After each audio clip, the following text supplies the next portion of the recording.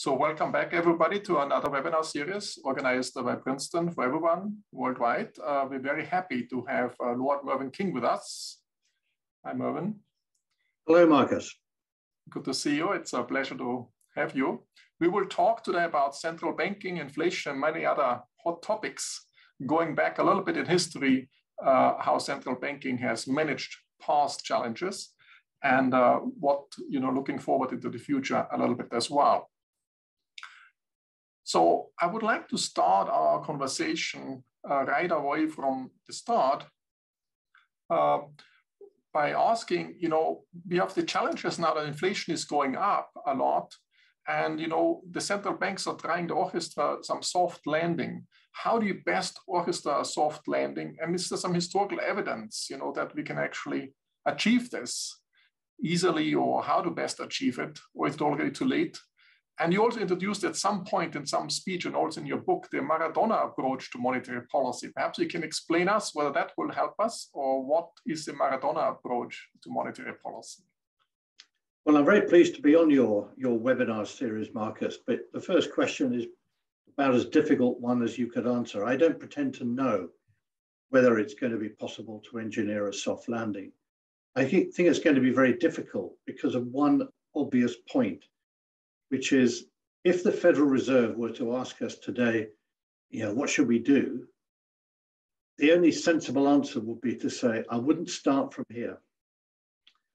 They have got themselves into a position in which, almost irrespective of how you think about forecasting inflation, whether you think about a Taylor rule or any variant of a Taylor rule, or looking at the monetary aggregates or thinking about the budget deficit, the fiscal theory of determination of, of inflation.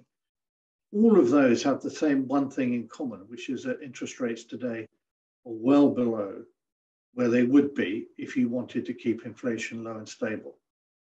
So I think that the challenge for the Fed and the, uh, what is going to make a soft landing extraordinarily difficult is that you know, you look at the excited commentary in the press about maybe three or even four interest rate rises in 2022. Well, let's suppose there were four quarter point increases. Interest rates would still, this time next year, be well below anything that a Taylor rule or almost any view about how to bring inflation down would suggest that you need to get to. And if the Fed moves a lot faster, then what will happen is that almost inevitably with higher interest rates, asset prices relative to incomes will be lower than before. And some of that will be brought about through higher income levels, through higher inflation. But some of it, no doubt, will also come through falls in asset prices. And that will lead people to say, oh, asset prices are down, that will dampen the economy. We better stop that. The Fed mustn't go too quickly. But to get to the right level of interest rates, you just have to accept that the consequence of that is a lower level of asset prices relative to incomes. So I think that um, you know maybe events in the world will conspire to make it easier to meet a soft landing, but unless something makes it relatively easy in the conjuncture, I think it's going to be very hard for central banks to bring about a, a, a soft landing. Do you think, uh, you know, we have put enough macro-prudential safeguards in place that, that the financial sector can absorb an interest rate increase of that size, what's needed in order to bring inflation down? Or do you think it's unavoidable almost to have some havoc in the financial markets? Or how would you, or should we now I think, I, my own, now? I think my own feeling is that the bigger risk here is, is less um, what you might think of as a macroprudential response or concern about higher interest rates, and much more that we're going to move into a world in which it will be clear to everyone that zombie companies won't be able to continue being zombie companies for that much longer. And they will have to recognize the fact that they won't be able to repay all their debts, and lenders will have to recognize losses on the balance sheet. And this isn't just a question of corporate debt, it's also the sovereign debt. There are serious concerns about sovereign debt around the world. Uh, and I think this means we're going to move into a period in which debt restructurings will become much more common. And not just in one economy. We hear a lot about China and Evergrande and debt problems in the Chinese economy. All the major economies are going to be experiencing uh, a transition in which uh, those companies in sectors where demand has basically been stuck and supported by unsustainably low interest rates, those companies will have to restructure their debts, contract the size of the companies. And the good news is that they will be releasing resources that can be transferred to sectors and companies that can actually expand um, over the next five to 10 years. But that is not going to be something that it's easy to manage as a slow and seamless transition. I think we will see episodes in which events occur that people will find disturbing. Um, but I think it's an inevitable consequence of trying to get back to a world where real interest rates are back at more normal levels. And they're not. I mean, I, I look today that real interest rates in the US on government bonds are markedly negative at every maturity. It's not just the short term, it's long term too. And it's hard to see how that can be sustained in a growing market economy. So when you talk about debt restructuring, you talked a lot about the corporate sector domestically. Uh, do you think the household sector is better shielded compared to the last financial crisis where the household sector was very negatively affected? And then we also have sovereign debt restructuring in emerging economies and developing economies. If you look at well, I think the, the prospects for household debt will depend on which country you look at. It varies a great deal from one country to another. Whereas I think for corporate debt, the same problems are there in, in all major economies.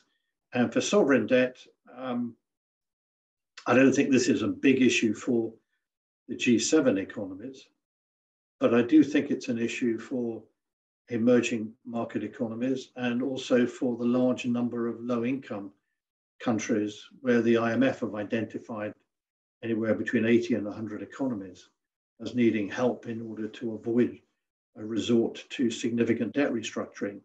And I think the concern is that although we've had some experience of dealing with debt restructuring of one or even a small number of low income economies and emerging economies, we haven't really seen that problem when we've had a large number of economies all at the same time experiencing the same issue. So I think that the issue of debt restructuring will be a major structural problem facing monetary and fiscal authorities in the next few years.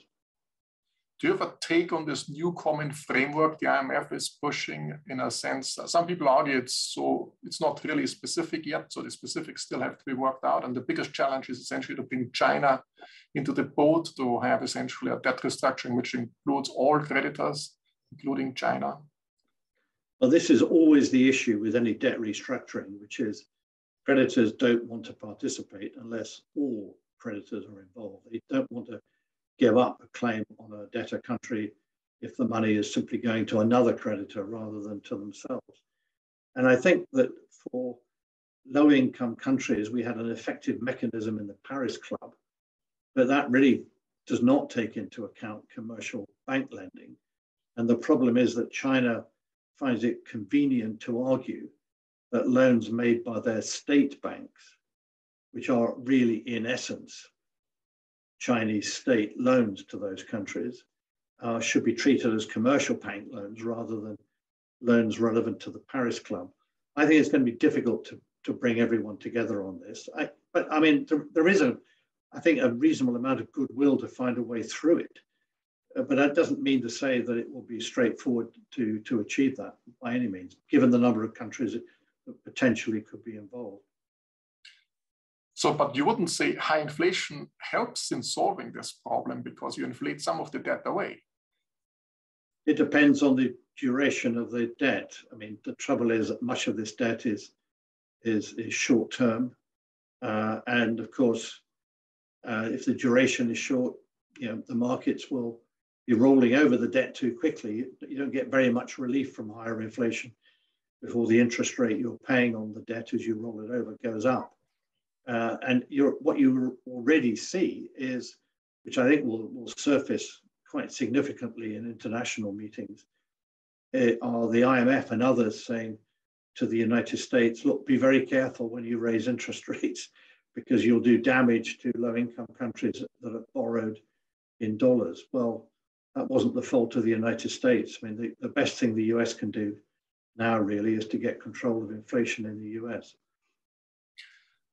So coming back to the inflation expectations, do you think the market has it right? I mean, the market is still has a pretty benign view of future expectations. Um, or do you think, you know, the market is getting it wrong? And I, guess your Maradona approach means also you make certain moves in the central banks where the market doesn't anticipate your moves uh, the right way.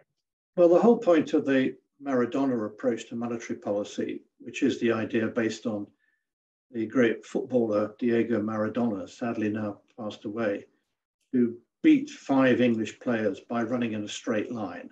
You know, how can you beat five players by running in a straight line? Because they expected him to go to one side or the other. And that's the idea that if you are a really credible central bank, you may not need to move interest rates very far in one direction or another if the markets anticipate it. The trouble is that depends on having a really credible central bank.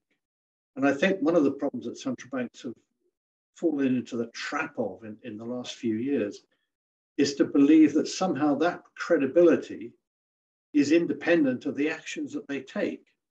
So you find in, in some forecasting models that the credibility is, is assumed to be that everyone believes that inflation in the medium term will come back to the target irrespective of the policy that you pursue. That cannot be a sensible approach to thinking about credibility. If you start printing lots of money or have excessively low rates for a long time, people will question whether, in fact, inflation will come back to the target in the medium term. And so I do think that there is a real problem now. I mean, to, to me, the most astonishing fact about this is to contrast the last decade when in the United States, the Fed's preferred measure of inflation, the PCE measure of inflation, was always between 1% and 2% a year for a decade. It never got to zero. There was never any hint of, of having any deflation there. And from the perspective of the 1990s, when central banks around the world were becoming more independent, were thinking about inflation targets, 1% to 2% a year was heaven. It was nirvana. You couldn't have a better outcome than that. And yet we got obsessed by the fact that, oh gosh, you know, inflation's only 1.4%. We can't get it up to 2%.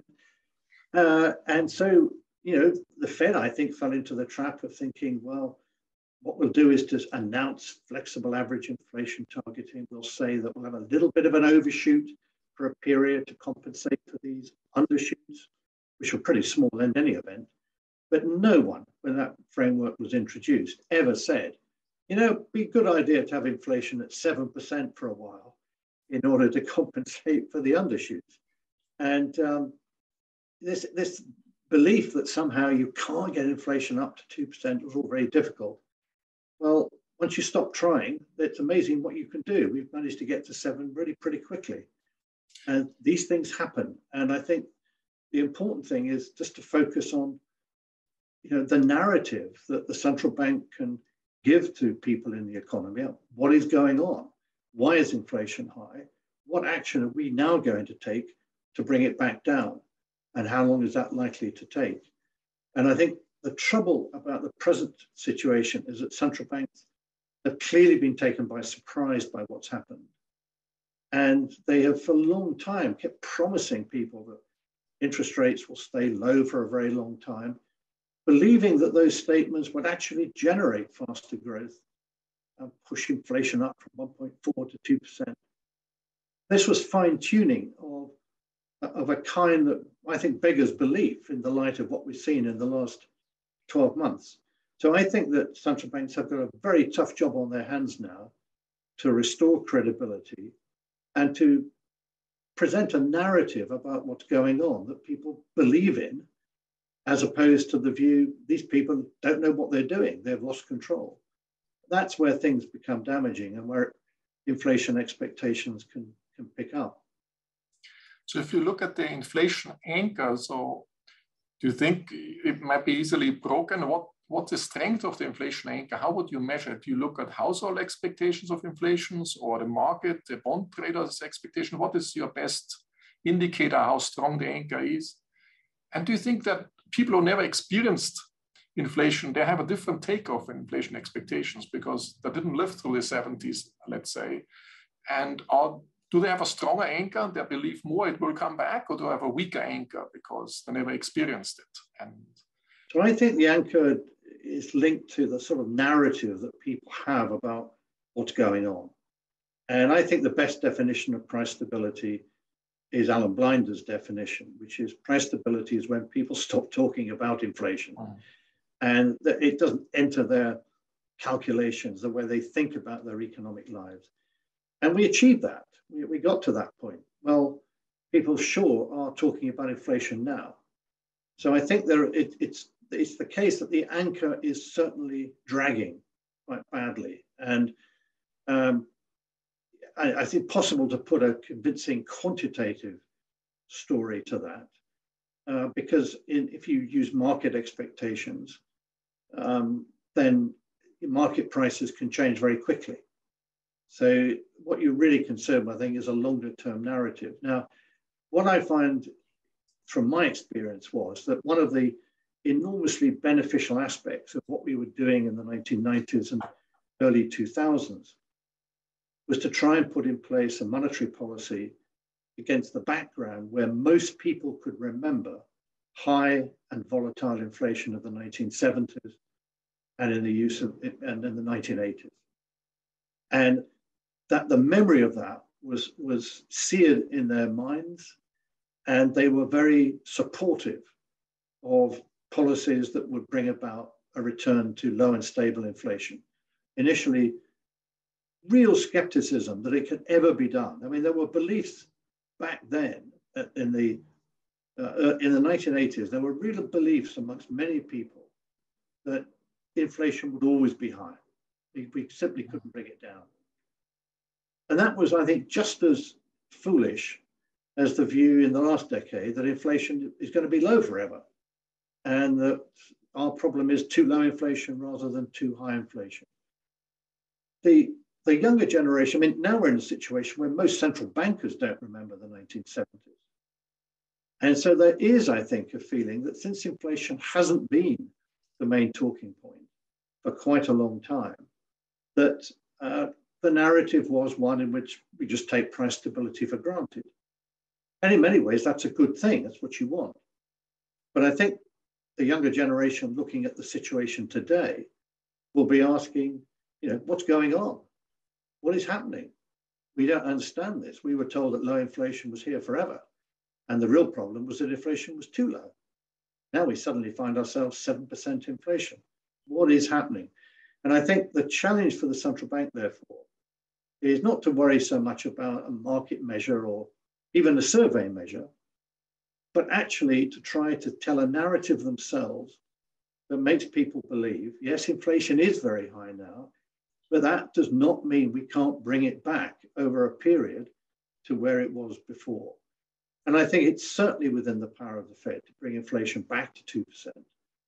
Um, but they've got to recognize that the current level of interest rates is way too low for what's happening now, to try to understand why we got in that position and to tell a story about what will happen to the economy as we transition back to price stability. I could make the case in a sense or try to give a story which is uh, transitive. I mean, it's like transitory, that everything is just transitory. That was the narrative that tried to push too hard, but I think that story lost credibility by now, and uh, now they have to, I well, guess, the, come up with a new story. The, the trouble is that almost any coherent theory of inflation will suggest that high inflation is transitory in the sense that once you put in place the appropriate policies, you will be able to bring it back down. And that, in that sense, what we're seeing now is transitory. However, that wasn't the sense in which the word transitory was being used. It was being used to say, oh, there are some few supply side shocks have come along, that will die away very quickly. And underneath all this is a return to price stability. And I think the concern now is much wider and broader than that. Uh, policy can still bring it back. And even if you look at the monetary aggregates, where I think the broad monetary aggregates are relevant, but not the, mm. not the monetary base, you've already seen a significant fallback in the growth rate of broad money. So this is something which means that we're facing a, a burst of inflation now, but it is likely to come back. But what's crucial, I think, is that the Federal Reserve have got to relate the path of inflation to the policy actions that it's taking. And that means, unfortunately, I think, admitting that policy was just too loose in the last couple of years. Uh, and that's not easy for a central bank to do. But without that recognition, it's going to be difficult, I think, to describe a narrative in which policy could bring inflation back. So there's one striking fact is that, you know, for Japan, would you say Japan is different because inflation did not spike in Japan so far? And uh, would you say in Japan you need a different narrative? Or what is so surprising that outside of Japan or outside of Asia, you know, there's this huge inflation spike everywhere.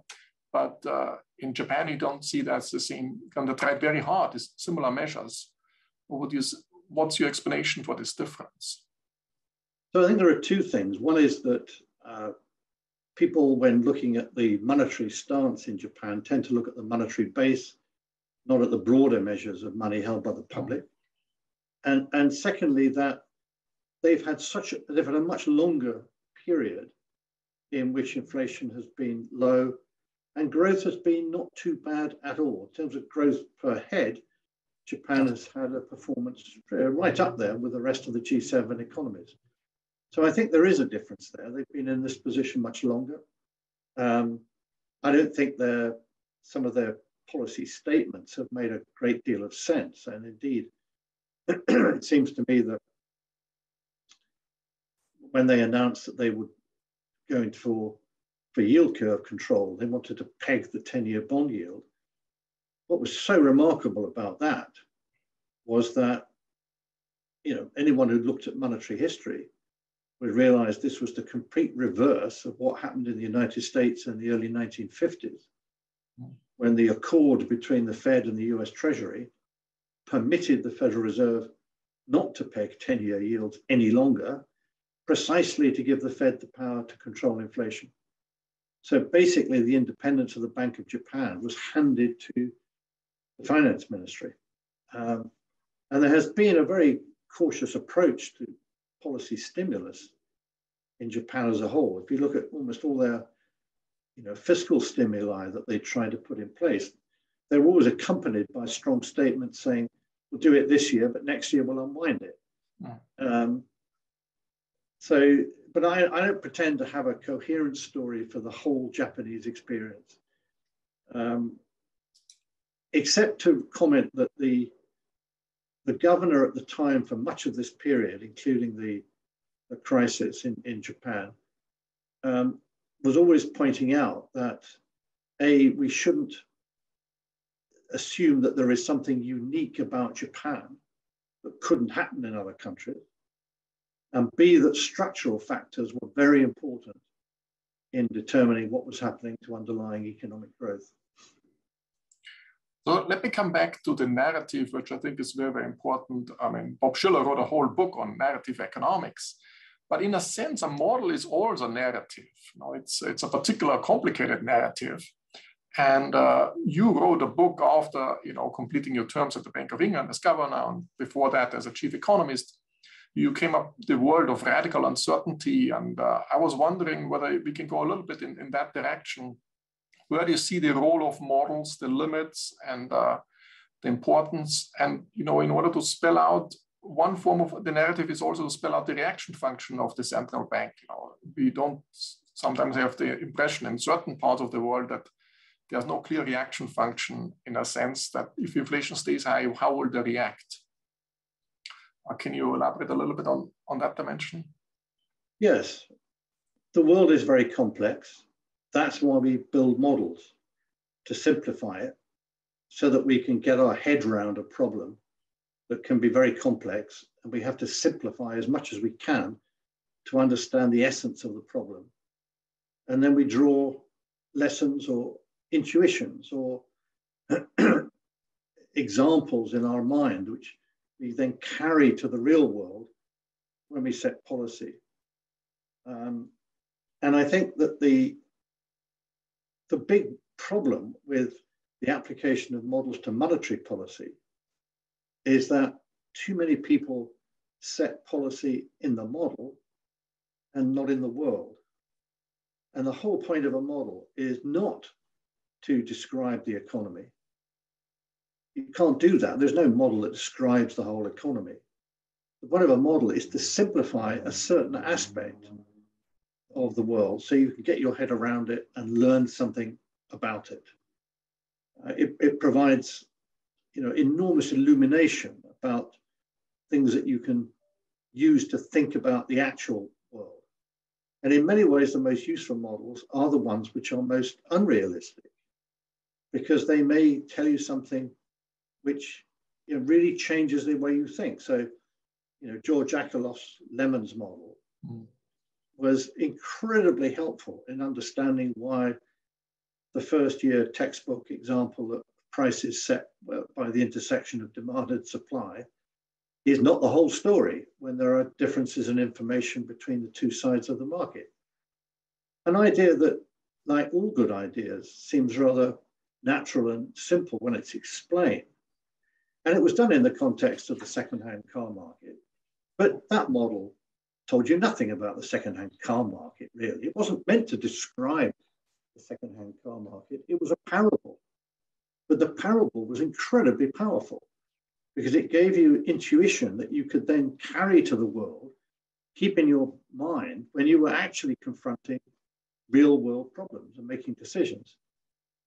And I think that one of the weaknesses in monetary policy in recent years has been the belief that the incredibly simple models that are used to think about whether it's a dy dynamic setting of monetary policy uh, with agents anticipating the future these are very useful models to give us intuition and understanding about how to think about policy. But it's an awful mistake to set policy in the models and believe that that's a description of the world. Other things are going on. And I think the, you know, I, I mean, a simple example is that I remember at the Bank of England when the Monetary Policy Committee uh, started uh, in the mid 70s the staff would produce forecasts of inflation. And what was so striking was that it didn't seem to matter what policy we set, inflation always came back to 2%. So we said, well, why does inflation come back to 2%? And the answer was you had to have something to close the model. And people didn't want to use, you know, for understandable reasons, relationships based on monetary aggregates or some other observable variable. So it was closed by a reaction function which essentially assumed that inflation would come back to 2%. And it was assumed that everyone believed that it would come back to 2%.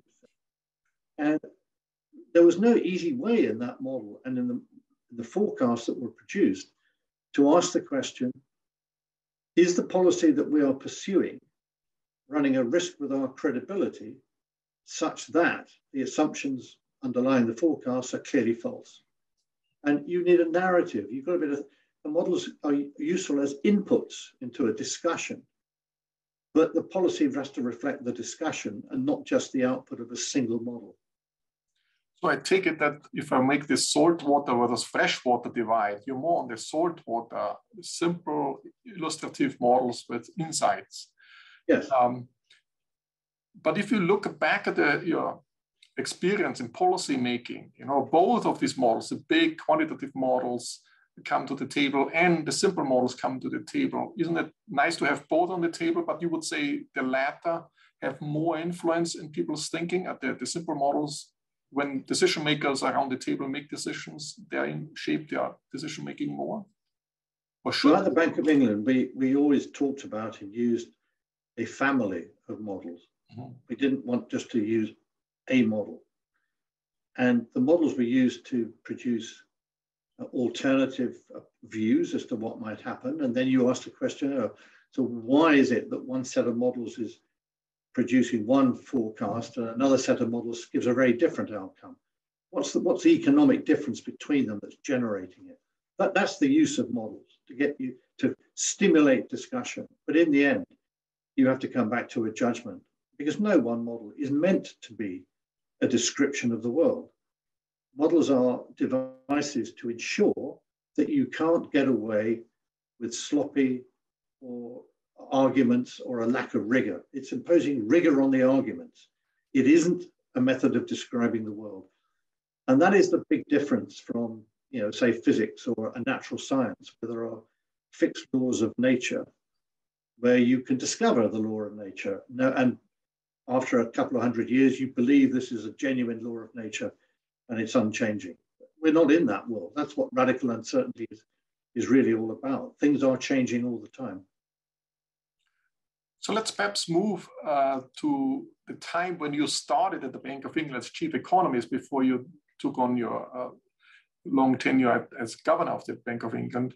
Um, you know, inflation targeting uh, in the 90s took over, but uh, you know, first, you know, the England, UK had challenges with exchange rate. How did this play out, and how did it come to inflation targeting in the beginnings? Perhaps you can look back in your own experience a little bit and tell us what the, the decisive elements were and what made people change their paradigm towards inflation targeting. And then later we might talk about the, the limits of inflation targeting.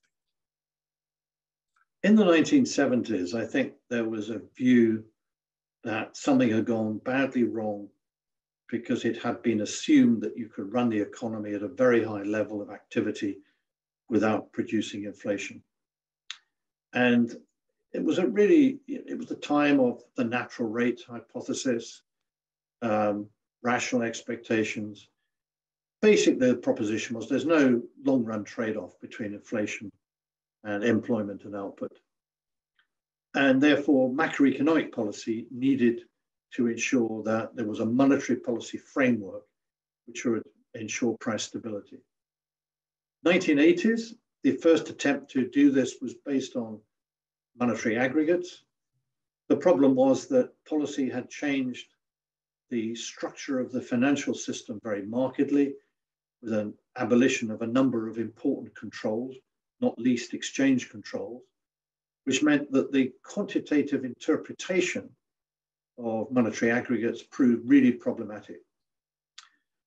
So then there was a switch to first implicit and then explicit linking of the exchange rate to the Deutschmark to try to inherit the credibility aspects that the Bundesbank had built up.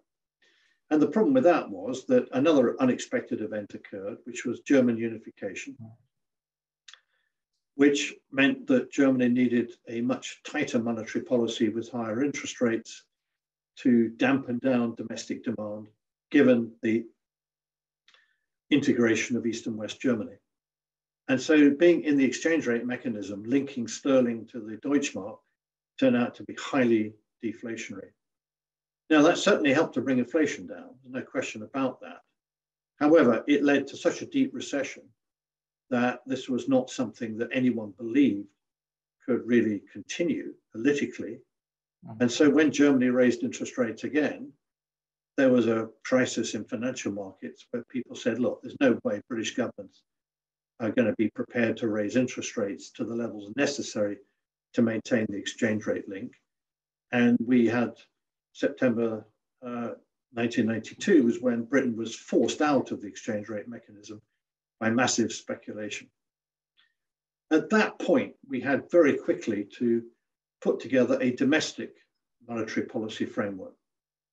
And our experience had been that the intermediate targets, whether you think of them as monetary targets, either monetary base or broad monetary aggregates, or exchange rate link, none of these had worked because there were structural changes going on in the economy that made them hard to implement. And so a much simpler heuristic would be to target inflation itself. That's what the public could see and we could produce a narrative on a regular basis that would explain to the public why the actions we were taking, taking were consistent with maintaining price stability in the medium term. and to bring inflation back towards target if it deviated from that. And that proved incredibly successful because we still had to use data on whether it was the monetary aggregates, the exchange rate, the labor market. All of these things had to be discussed and debated, but that could be done, if you like, in an expert environment where economists in the city and elsewhere could participate in that debate. But the upshot was people could see that the Bank of England was setting monetary policy to achieve a low and stable inflation target initially, well, ultimately a target of 2%. And that proved, I think, extremely effective at demonstrating that there was a degree of you know, professional competence involved in setting interest rates that had not been there before because interest rates had previously been set by politicians. And um, this was a big regime change, there's no question about it. And you can see that um, from 92 to 97, the Bank of England developed and evolved an independent voice in monetary policy. Then in 1997, we were given formal independence to set interest rates. And that led to a big fall in measures of inflation expectations in financial markets. And we had a very successful period, you know, after that. The uh, transparency was a key element to it. Yeah, so I wanted to ask about, I mean, uh, what was very nice of this setup in, in the UK was essentially that the Treasury was determining the target and the implementation was then done. So the separation between the UK Treasury and, uh, and the Bank of England was a very innovative framework at that time. But the, the, second innovation of inflation targeting is essentially with transparency, and you alluded to that. Uh, to what extent is the transparency important to have a convincing narrative? Is, does both have to go hand in hand? Can you have a convincing narrative without transparency? And what role does press conference, inflation reports, fan charts you invented at that time, uh, what role does that play? Perhaps you can elaborate on this, on, on this dimension. So I think you have to have a degree of transparency in order for the narrative to carry any weight. So you, you can't just say the Bank of England has looked at the situation and we believe that inflation will come back to target. That isn't a very compelling narrative. and I was very struck by the fact that as our new framework evolved, uh, particularly after independence, with nine members on the Monetary Policy Committee, that publishing the, the minutes of those meetings with differences of view, and indeed as governor, I was in a minority uh, on three occasions. Um, and that didn't undermine the credibility of it, it rather enhanced it because people would say, um, well, actually, I don't agree with the decision you made last month, but I'm really happy with the framework because my feelings about it and the arguments I would have liked to see win the day were actually discussed at the meeting. And I can see that because of the minutes. So I think you've got to set out an argument which basically says, you know, there are these reasons for thinking that perhaps inflation is going to be above target. We need to raise interest rates. And another set of reasons that says, actually, you know, it's not a good idea to raise interest rates now and to put those on the table and be open about it, and then to say, actually, a majority of the committee came down on this side rather than the other side, but not pretend in the way that politicians always do that their position is obviously right and the position of the opposition is obviously wrong. Mm. Uh, it's not. It's it's a it's a nuanced position always, and in doing that, spelling that out, you gain credibility. And I think the important thing about the narrative is that it has to evolve and change over time. So, you know, we were learning about the economy all the time. One of the good things was that the bank was probably the first institution in the country to recognize the significance of large numbers of people coming from Eastern Europe into the UK, which meant that actually there was no fixed supply of labor. Uh, more demand generated its own supply. So the Phillips curve became very flat um, and to, to, talk about these things in an open way. But I want to also say what transparency is not. I don't believe that transparency is about um, having transcripts of meetings. Because as soon as you have the, as soon as you require meetings to have to publish transcripts, say five, seven, eight years later, the meeting stops being a useful meeting. And all that happens is, is you get a series of people going around the table reading out a prepared statement, which is of little value and certainly is not the decision-making process. So, you know, what happens at the Fed and I think now at the Bank of England is that the real meetings, the real discussions take place before the mm-hmm. meetings at which you are compelled to produce transcripts. So, so I guess you're also very critical of the US Fed has this rule is more than three governors talk to each other. It has yes. to. Yeah, I mean, this seems to me absurd because that's not transparency in order to generate a narrative that the rest of the world can understand and criticize. There has to be a room for private conversations. And what the transparency really means when the central bank takes a decision, it should be forced to explain that decision and give the reasons for it. It doesn't mean that every meeting of the central bank should be either live on television or in the form of a written transcript five, six years later. That isn't transparency that serves any purpose. In fact, I think it's counterproductive. Now, it, you talked about the fan charts that we produced. The, mm -hmm. the one thing that I was absolutely determined to do from the very beginning when I joined the bank was to get away from the idea of point forecasts. Um, I, I find it hard to believe that anyone can issue a point forecast and regard that as a coherent statement. It isn't. There is a lot of uncertainty about it. And the most important aspect of a decision is very often are the risks more on one side of a central view than the other side? And is there a great deal of uncertainty or not much uncertainty? These are the big questions. So, right from the first inflation report, which was the document that underpinned our voice and independence in February 1993. Even in that very first report, we had um, bands which illustrated the average mm. forecast error from past experience to illustrate the uncertainty about the forecast. And then we evolved that into a, a rather nice uh, official fan chart with bands representing different probability intervals, uh, which we published.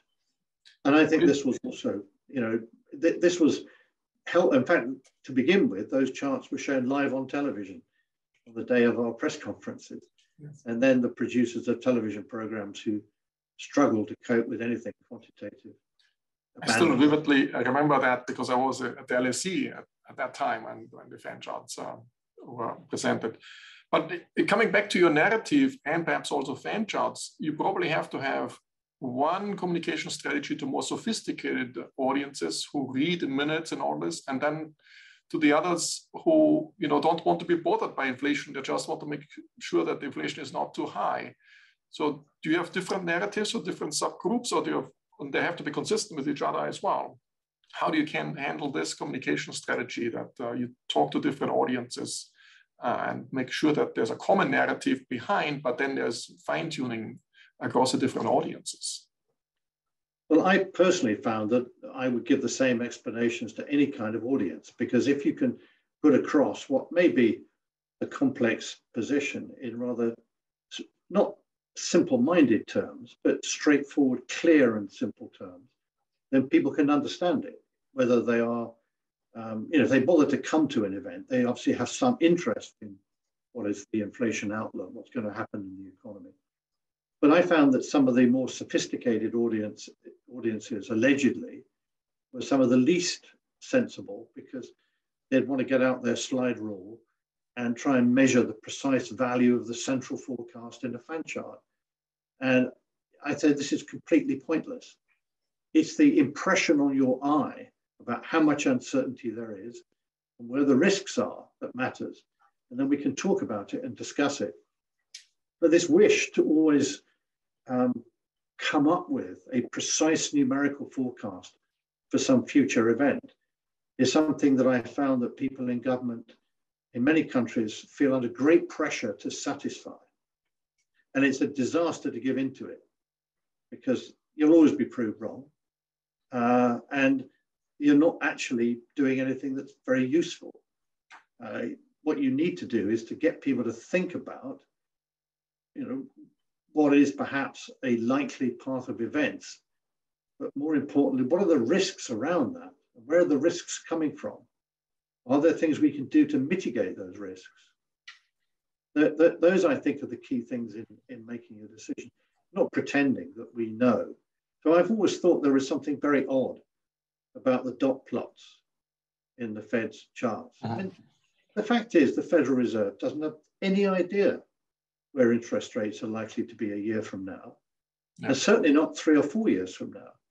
And it doesn't make any sense to pretend that we do.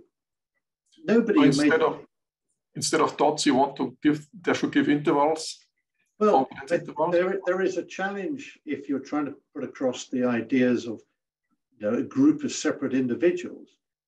Uh, and I think it'd be much better for for not to focus too much uh, on the numbers that individuals think, but to see if there is a collective agreement on a narrative about likely paths and risks to it above and below. Uh, I mean, I think the, the biggest challenge that we didn't solve at the bank was how to cope with presenting some sort of forecast when you've got nine people on a committee. You do not want to present nine different forecasts. Mm-hmm. It's just confusing. And it tells you more about differences of view than anything else. You want to know, you know, what is the debate on the committee? What are the issues that people are disagree on? Uh, not that they have a dot plot that looks different, but why are they different? What are, what are the reasons for it being different? So you raised already some challenges of inflation targeting. Perhaps we can go to the next uh, block where saying, oh, stretching inflation targeting. Where do you see the limits of inflation targeting or the shortcomings, and where are we moving to? You know, we have you know, forward guidance, so we have the natural rate of interest. Nobody really know what R star is, or the natural rate of unemployment, how to measure it. And we have many rates, not just the short-term rate. We have perhaps even a natural price of risk or risk premium why only the risk-free rate? Why only the, so it's not obvious. And where do you see the future of the flexible average inflation targeting framework? Uh, you mentioned in the initial phase, now we have 7% inflation in the United States. So will we correct for that subsequently? Or, you know, how do you see uh, this coming and playing out? And I think you you're very much a money man. So for you, money was always important, and you know a lot of inflation talking moved to a framework where money was not the key in the monetary economics and monetary overhang aspects and all this. Perhaps you can allude to that. Do we have to bring money back? Don't have on. We have this cashless economy models. Do we have to take money more seriously in our models going forward? So there are two different questions, I think. One is what sort of models should we be looking at? And secondly, how should policy be set in the world? And, uh, you know, I don't think we should go back to the idea that there is one measure of money that can be used in order to determine policy. But I do think that if you observe not so much the monetary base, because we saw in the financial crisis that the whole point about having a rapid expansion of the monetary base was to prevent broad money from falling sharply. So it is broad money that really matters, money in the hands of the public. If that is moving at either plus 20% a year or minus 20% a year, you have to ask the question, what is this telling us? What is going on? Now, it doesn't mean to say there's a simple automatic answer to that, irrespective of circumstances, but you need to, to ask the question, what is going on? And I think that's the, the, the point about this. There is a kind of the danger of setting policy in the model is that you believe that you can fine tune what is going to happen. And that, I think, is the trap into which flexible average inflation targeting has fallen. The idea that we can control inflation sufficiently precisely that we can, you know, aim to have inflation at, say, 3% a year for 18 months and then bring it back to 2% in order to offset previous undershoots of inflation below 2%. Well, here we are, you know, a year, a year and a bit, year and a half perhaps into the new framework, and inflation's at seven. Well, that was, wasn't the conscious result of the application of the, of the framework. And in a sense, the framework's just been overwhelmed by events. And it's not sensible to have a framework that can be that easily overwhelmed by events. So I, I do think a framework in which people ask the question, you know, what's going on? You, people talk a lot about the natural rate of interest, but there's a real parallel with the lessons from the study of the natural rate of unemployment. That was a concept which was incredibly powerful in helping us to understand that there may well be no long run trade off between inflation and unemployment. Let me put it in that very simple way. That was a very powerful intuition that you could take away. So people inevitably decided to go out and estimate the natural rate of unemployment. Now, the trouble with it is that the, the idea, the intuition that there isn't a long run trade off came from a model in which you could define a natural rate of unemployment. But you know, Friedman's definition, the natural rate of unemployment, was that the rate of unemployment that will be ground out by the Walrasian equations. But we don't live in a Walrasian world. We don't live in a world of complete markets. And so what happened was when people tried to estimate the natural rate of unemployment, what do they find? Amazingly, it actually seemed to follow the actual rate of unemployment with a lag. And it was very hard to believe that there was some independent measure of the natural rate of unemployment that was useful in setting policy. Well, I think the same is true of the natural rate of interest. You know, 20 years from now, people will look back and say, well, guess what? Natural rate of interest fell very sharply in the 2010s, stayed a bit low perhaps in the 2020s, and then rose again. But that's not an independent measure of something that's going on in the world. And I think this is this is where there are limits to models. You have to ask the question. You know, the, that we've learned some very big lessons from the models with natural rate of unemployment. But does it really make sense to think that there is a, a stationary number that represents it that we can actually use to set policy? And I don't think the answer is that it's helpful. And it's I think that is certainly true of the natural rate of interest. So I, um, you know, I, I'm skeptical that we should assume that we can write down a model in which these things are well defined and then basically set policy in the model and then use those numbers and take it to the world. It is, it is much more complex than that. And I think the last couple of years have demonstrated that. So all these rates are the short end of the yield curve. Once we move to manipulate the longer end of the yield curve, then we move into balance sheet of the central bank aspects, you know, QE, and uh, we talked about the yield curve control already.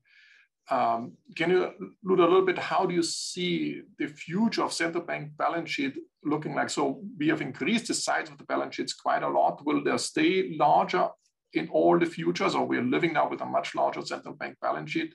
Even though we might have high inflation, or will the balance sheet shrink again, not to the same level we had before, but will it come back down? How do you see the optimal size of the central bank balance sheet playing out uh, in the future? And will it move up and down depending uh, if we do more QE or less uh, quantitative tightening, quantitative easing, and so forth? So I'm sure it will vary over time. I mean, of course, the interesting thing is that there is no optimal balance sheet in terms of setting monetary policy. Your ability to set monetary policy is not a function of the size of the balance sheet. You can do it at any balance sheet size you like. What QE was designed to do initially, the way I talked about it, though not the way I think the Fed talked about it, was to say after uh, September, October 2008, what we saw was that commercial banks were desperate to contract the size of their balance sheet, both through regulatory pressure, but also market pressure. And therefore, they were pulling in loans. They didn't want to extend lending. And you know, the one iron law of economics is double entry bookkeeping. So that meant the size of their asset, their liabilities had to contract as well. And um, that meant that bank deposits were actually falling. And I think there was a genuine concern that if the absolute value of broad money in the economy was going to contract significantly, that would threaten something like a repeat of the Great Depression. So you needed to take some offsetting action. Well, interest rates have been really reduced to close to zero. So the idea that you could cut rates further and encourage people to borrow and banks would be willing to meet that demand for borrowing not really a feasible option. So QE was actually, in many ways, a rather traditional policy instrument, which was to say the central banks would buy government bonds, and that would boost the level of bank deposits of the institutions that sold bonds to the central bank by the same absolute amount as the QE purchases. So it helped to offset the contraction of deposits by commercial banks. But since their commercial bank deposits are so much larger than the size of uh, the central bank purchases uh, and monetary base, then you had to have a big expansion of the monetary base through QE in order to have a noticeable impact on broad money. And so a lot of QE was done, but it didn't lead to a significant growth rate of broad money. It prevented a decline of a mark, mark size, but it didn't prevent, it didn't lead to a significant expansion. So 2020, 2020, 2021, that was not true. Commercial banks were not contracting their balance sheets. So the QE that was done added to the expansion of broad money. And I think that's the explanation why the inflation spiked so much because it was just adding to the money, unlike after in the great financial crisis, it was just substituting, replacing the shrinking of the private money with public money. Yes, and I think that there are a whole series of things that could follow from that. One is the portfolio effect of an expansion of broad money, where uh, actions are taken to push up asset prices of other kinds of assets. But also, it made it very much easier for governments to run big deficits because they didn't have to sell as much debt to the private sector. And so, you know, whether you want to attribute it to the expansion of government spending or to the expansion of broad money, I think it, you can choose whichever explanation you like. These things happened simultaneously and they were linked. Um, but I think what was done, uh, I think, was undoubtedly something that was that, that, led to the inflationary spike. And I think the there are interesting contrasts between the US and, and Europe in this respect. So I think in the US, because there was no furlough scheme, unemployment was allowed to rise to very high levels for a short period and then brought back down again. It was easier for people to use a narrative that confused what was going on under COVID 19 with a conventional business cycle, but just of a much deeper magnitude. And I think that in Europe that wasn't true. The, the fiscal measures taken by governments in Europe, I don't like to use the phrase, phrase to describe them as fiscal stimulus because the aim was not to boost aggregate demand. The aim of the furlough scheme and the significant expansion of government budget deficits was to enable companies to survive mm. while maintaining employment. The people weren't producing anything, but they were still being paid by companies, financed by transfers from government under the furlough scheme. And what that did was that governments were trying to prevent a further large contraction of supply in the medium term. There was a big contraction of supply in the short term because governments closed parts of the economy and households decided that they had no wish to go out to spend money on hospitality or cinemas or theatres. So a mixture of household decisions and government decisions contracted the size of the supply of the economy. But the government was trying to prevent that leading to a persistent contraction of supply in the medium term by allowing businesses to survive. And that was the, the nature of the increase in budget deficits. I don't think of that as fiscal stimulus, but of transfer, intergenerational transfers to prevent the collapse of businesses. And I think it was a very sensible thing to do. What was much less obvious was why central banks wanted to print a lot more money. Yeah. And I think it reflects something that I am worried about, which is that it, once you stop telling a narrative about what's happening in the economy in terms of economic variables, but rely on the assumption of central bank credibility to underpin the medium term path of inflation, you end up with a position in which you know, central banks think that QE is just something you always do when there's bad news. You know, whether it's Britain voting to leave the European Union, let's do some QE. Whether it's, gosh, there's a pandemic, let's do some QE. But the important question to ask is, what is the economic justification for a monetary policy response? And I think that argument, there may be many answers to that, but that question very often was not posed. And central banks seem to take the position that it's important that we demonstrate that we're here.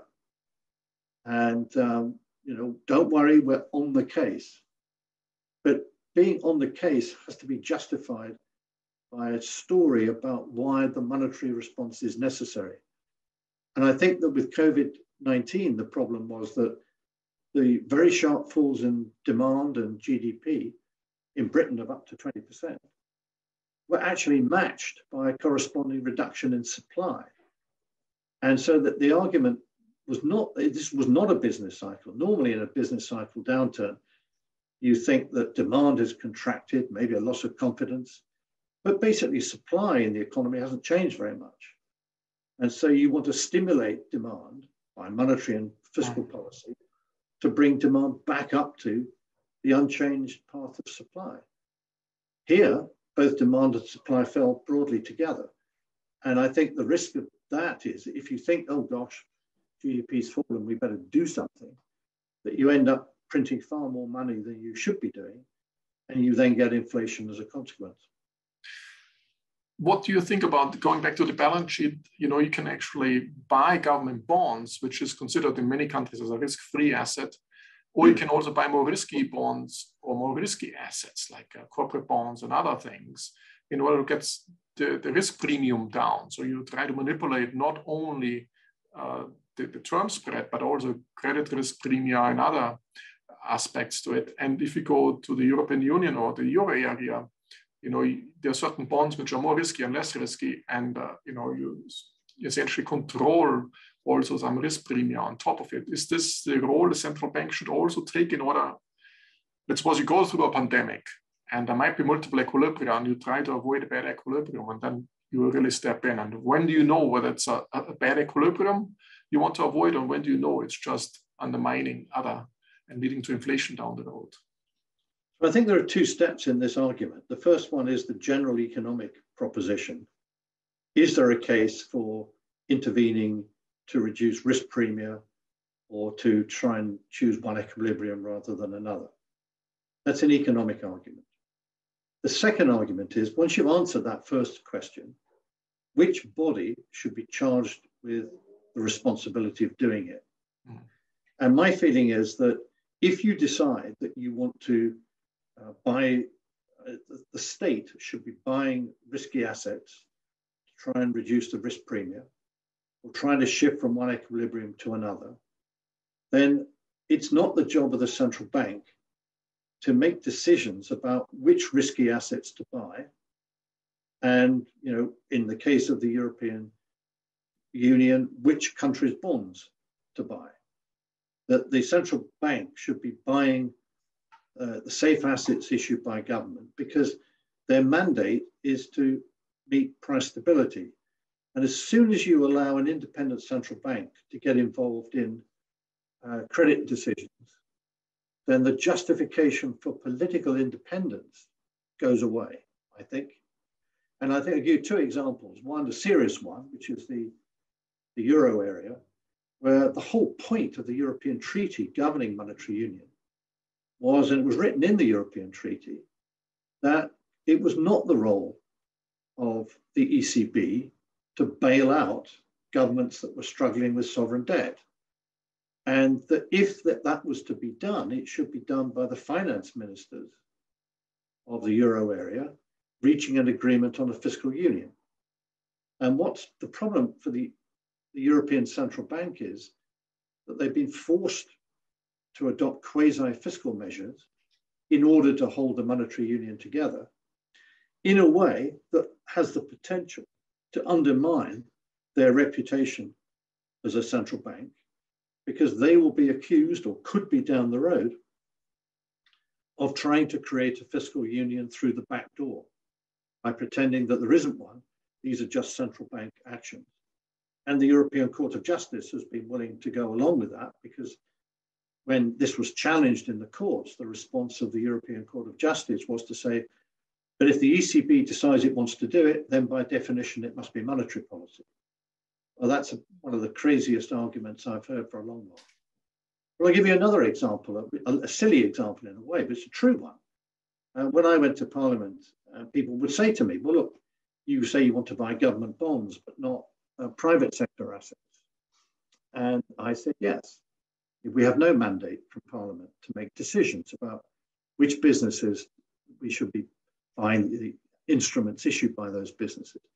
And they said, but this is terrible. I mean, surely you can do far more to stimulate the economy by doing that. And I said, well, true, I could think of a you know, relatively small company in the Midlands.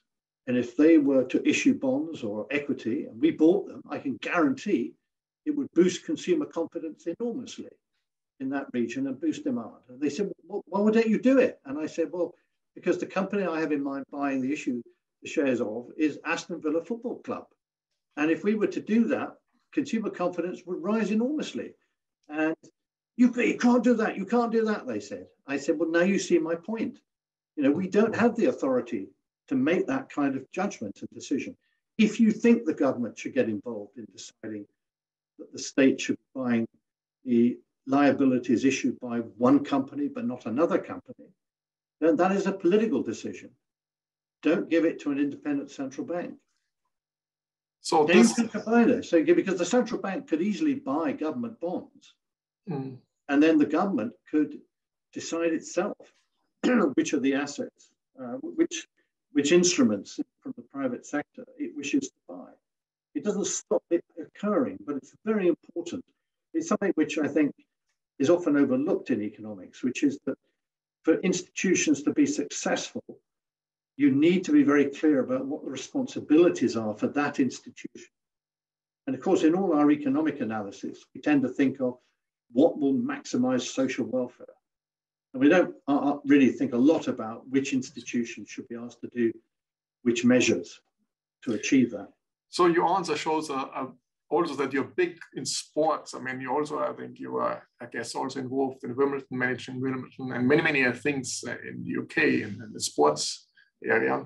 And of course, football is, is big uh, for you and for many people in England and across the globe.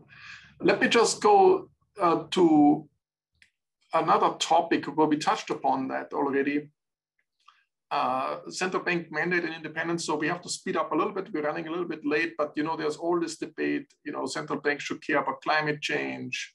There might be promoting specific sectors. We talked about that. Uh, what's about the next financial crisis? So where do you think is the limits central banks should go and should not go? And uh, you know, what's your take? Can you give some guidance how to think? And I think you alluded already in the previous answer. Uh, yeah, so I, it's, and I mean, central banks, should, central banks should be involved in things which their instruments can make some impact on.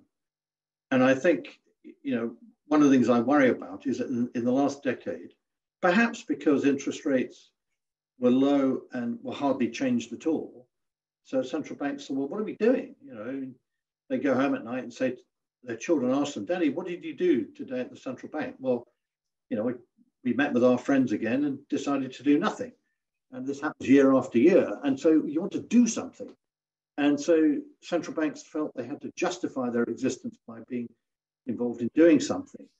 Climate change is a good example. No one would ever create a central bank in order to deal with climate change. And the instruments of central bank are singularly ill-equipped to be the main methods of responding to, to climate change, whether it be in terms of monetary policy, that is, whether which bonds, corporate bonds, do you buy uh, under QE, where you know the Bank of England has issued a very good paper on this, but you, it reveals the, the difficulty. It, it, ties itself in knots in trying to work out which companies' bonds you might buy. I mean, you don't want to buy bonds of a company that's having large emissions and saying we won't buy bonds of those companies because then you have no influence on the companies at all at that point. So they end up by concluding that, well, we ought to encourage the purchases of bonds issued by companies that we think in a subjective assessment are making the best efforts to try to reduce their emissions. Well, a subjective assessment like that is no basis on which to convince people that you're using your powers appropriately. And although it, in terms of risks to the financial system, it's very hard to deny that if there are risks from uh, climate change to the financial sector, then central banks need to think about these risks. The trouble is that all the, all the effort is going into only one kind of risk, that is a risk from climate change. So people talk about stranded assets, oil and gas underground. Well, if you want to see a stranded asset, the last two years will have given you much better examples. Fleets of aeroplanes parked on deserts around the world, cruise ships floating in the ocean with no passengers. These are stranded assets, literally stranded. Uh, and there are risks not just from climate change, but from pandemics, from cybersecurity, geopolitics. Are we supposed to worry about banks and the financial sector lending too much to companies that have close relationships with Taiwan that could be severely reduced in value as a result of events by China in Taiwan or Russia in Ukraine. I mean, there are so many risks, and I'm not sure that it makes sense to think that central banks are at the vanguard here of the appropriate policy measures to deal with climate change. And it's not very convincing when governments that refuse to introduce a carbon tax turn around and say, well, central banks must do their bit. Um, people in glass houses shouldn't throw stones. So let's, uh, we're running way over time, but let me just raise one more issue and perhaps touch it uh, briefly, which is about CBDC, central bank digital currency. And I just saw that uh, two days ago, the House of Lords came out with a report. And I guess you were probably involved in writing the report or at least uh, providing feedback. And it came out pretty negative. I mean, it, it said a solution in search of a problem uh, it might lead to more state surveillance, uh, it might create financial instability, it might give too much power, unspecified powers to central banks. Um, but there might also be some good things like you know reducing credit card fees and transaction uh, payment fees across the borders and financial inclusion. Where do you come down on that? So just a few words at the end. You're very critical on CBDCs, or you open, or perhaps you can give us your perspective on so this, this was a report, academia.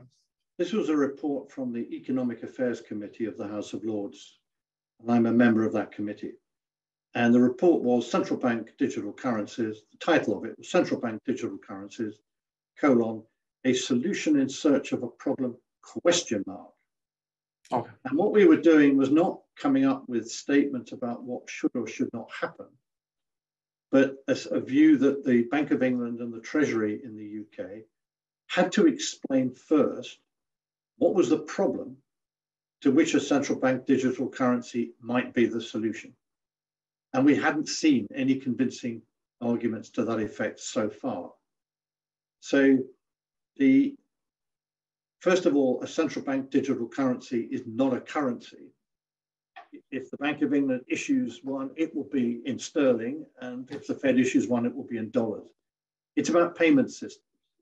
So the question is, how can we make a more efficient payment system? And it is possible to argue that a CBDC might go some way to do that, but it's far from obvious.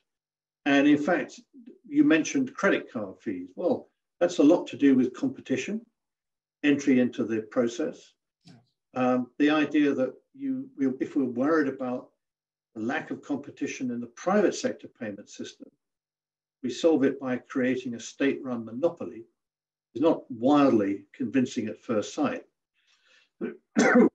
and in terms of all the dimensions of payment systems that we have, um, they're all digital now anyway. I, I, can make digital payments to you in the US or to anyone in the UK paying my bills by going onto the internet, a couple of clicks, zero cost payment made.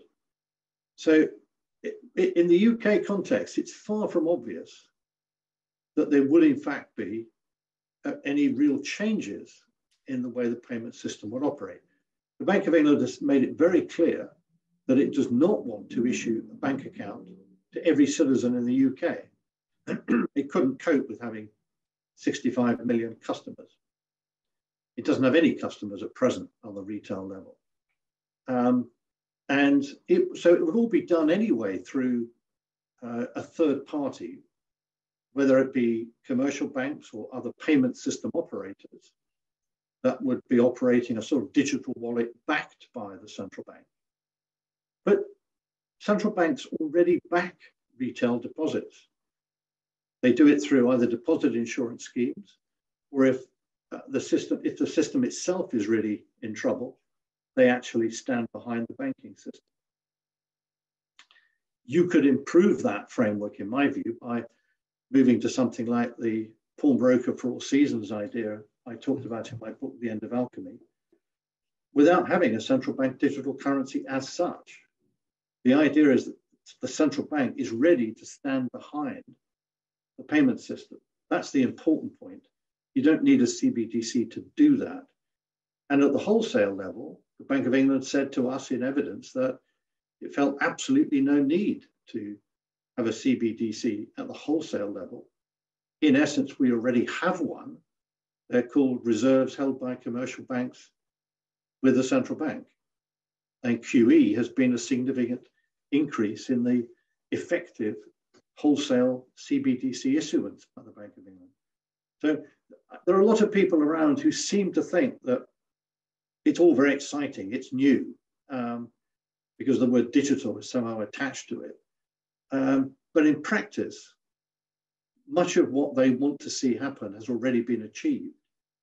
And where there are areas where there is a clear need for improvement, which is cross-border transactions, it's not obvious that CBDCs will, in and of themselves, solve that problem because you need to have then a large number of bilateral agreements between central banks in order to get to a system in which central banks are clearing with each other and then internally their own payment system takes over. So there's certainly a lot to be done in terms of thinking about payment systems. That is certainly true. Um, and there are, there are concerns about the regulation of either genuine digital currencies like Bitcoin or the 7,000 other digital currencies. And there will be serious questions about the regulation of stablecoins. These are big, big questions. But simply creating a central bank digital currency, on the face of it, it's not obvious that it brings about the sort of transformation people often assume it must lead to.